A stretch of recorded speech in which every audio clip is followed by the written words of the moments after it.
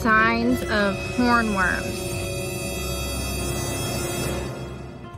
The leaf is eaten. The tomato hornworm is back, but I am having a very difficult time finding it. So you gotta look really hard. Oh, there it is. Right there. Very young.